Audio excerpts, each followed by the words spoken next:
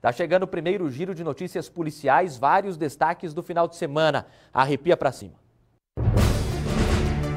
Jovem de 20 anos é assassinado com um tiro na cabeça em dois córregos. Matheus Marcelo dos Santos estaria num estabelecimento nos altos da Avenida Piracicaba quando se envolveu numa discussão. Os ânimos se exaltaram. O outro rapaz sacou uma arma calibre 12 e atirou na cabeça do jovem, que morreu no local. O assassino está foragido, mas a esposa dele, também suspeita de envolvimento no crime, foi detida pela polícia ontem. O corpo de Mateus será sepultado hoje no cemitério municipal de Dois Córregos. Quase 5 toneladas de maconha são apreendidas pela polícia rodoviária.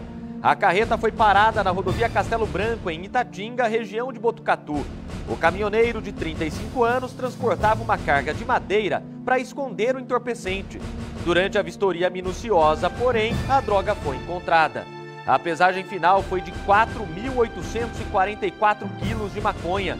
Depois da apreensão, o homem confessou que foi contratado para levar o material proibido até a capital paulista e acabou preso em flagrante. Motorista embriagado perde controle de carro, bate em veículos estacionados e atinge um poste. O acidente aconteceu na Avenida Alberto Macieiro, Maria Luísa 4, em Jaú. De acordo com a polícia, o rapaz de 24 anos conduzia um gol pela via e estava em claro estado de embriaguez. Depois de derrubar o poste, a fiação se rompeu e teve início um incêndio, que deixou o veículo completamente carbonizado. O condutor recebeu voz de prisão em flagrante, mas está sob custódia na Santa Casa, onde deve passar por uma cirurgia. Cada barbaridade, não, gente. Briga de boteco terminou com o rapaz morto de 20 anos, com um tiro na cabeça, né?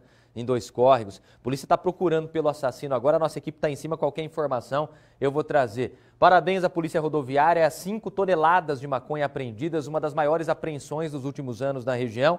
Foi ali pertinho de Botucatu. Em Jaú, a barbaridade do cara, bêbado dirigindo, né? Bateu em carro estacionado, derrubou poste, pegou fogo. Eu vou te contar um negócio. Está no registro da polícia. Ele estava com claros sinais de embriaguez ao volante e por isso o doutor Durval Izar Neto, que era o delegado plantonista, decretou prisão em flagrante do motorista, mas não foi para o Chilindró, porque ele se machucou, quebrou a perna, então está preso na Santa Casa. De lá deve ir para a cela. É essa a ideia, é assim que deve acontecer. E o Corpo de Bombeiros com essa trabalheira aí para apagar o incêndio no carro depois que o acidente aconteceu.